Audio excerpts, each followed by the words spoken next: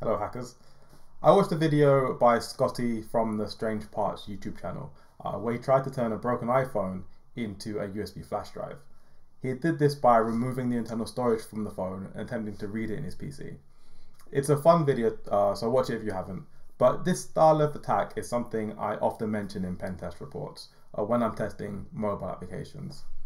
For example, if I'm testing an application and I find that it stores passwords and the keys inside the sandbox in clear text, I'll say something like an attacker with physical access to the device would be able to recover the data. Uh, but saying that, it's not actually an attack I've personally tried myself. So I wanted to see how difficult it would be and whether I'd be successful performing this attack with cheap-ish hardware, you know, stuff that is quite easy to get from Amazon. Um, I also wanted to document this one piece of kit that I got as there didn't seem to be many reviews um, or documentations online. So the first thing I did, I went to eBay and I found a listing um, of a load of old phones. Now I needed to find devices that uh, didn't use full disk encryption by default, so these were slightly older devices, um, and they needed to be fairly cheap because no doubt I'd make several mistakes trying to uh, try and try this project.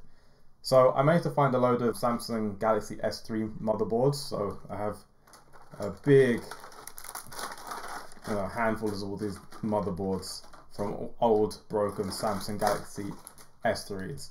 Now, according to some of the stickers on the uh, on the devices, they're in all uh, various different uh, issues.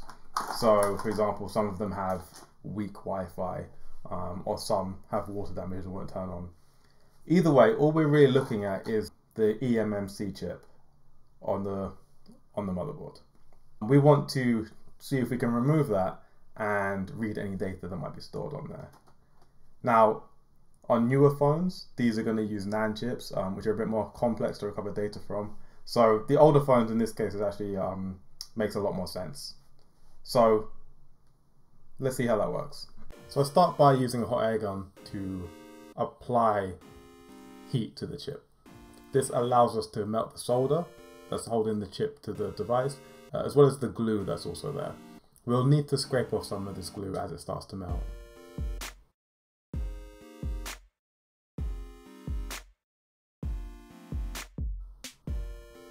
As we're not planning on reusing the device, it doesn't really matter if we remove other components.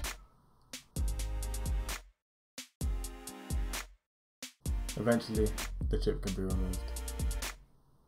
However, it does need to be cleaned.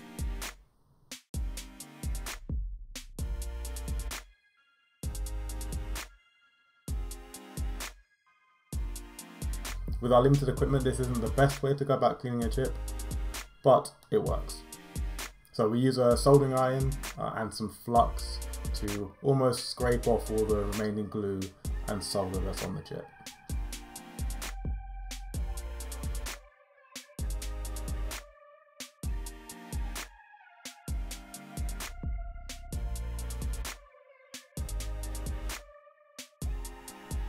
And now we can use a solvent to just clean off all the flux.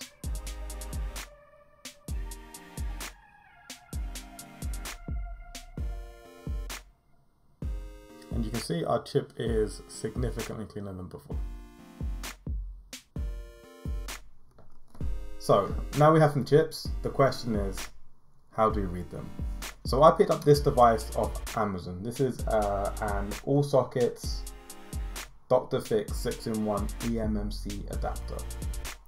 And it comes in two parts. The first is the holder where we can actually place our chip.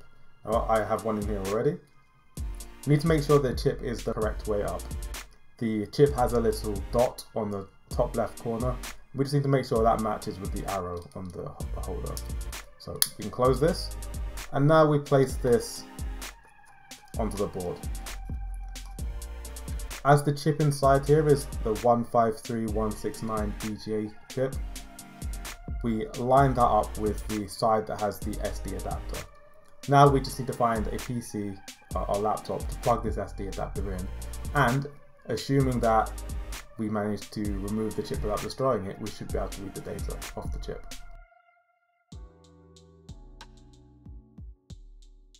I've plugged this into my laptop and we can see that the file system of the chip can be read. I'm going to navigate to a test file. Let's go for the WPA supplicant file. This file contains a list of all the saved passwords for Wi-Fi networks that this device is connected to in the past. As we can see, there are plenty. What did I learn? Well, first I learned that this kind of attack isn't as difficult as it seems. With modest budget, it was possible to re remove those chips from the devices and quite easily read them.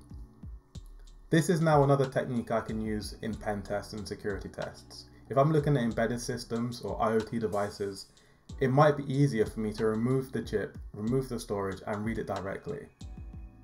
I can then start to analyze any binaries looking for vulnerabilities or um, hard-coded passwords or hard-coded encryption keys. If you're watching this video and you don't use disk encryption, I would encourage you to. Had these devices been encrypted, I wouldn't have been able to read any sensitive data from them. If you're throwing away things like old phones and laptops uh, and tablets, you know, be aware that unless they are encrypted, an attacker might be able to recover any sensitive data that's stored on them. Hope you enjoyed this video and thanks a lot for watching.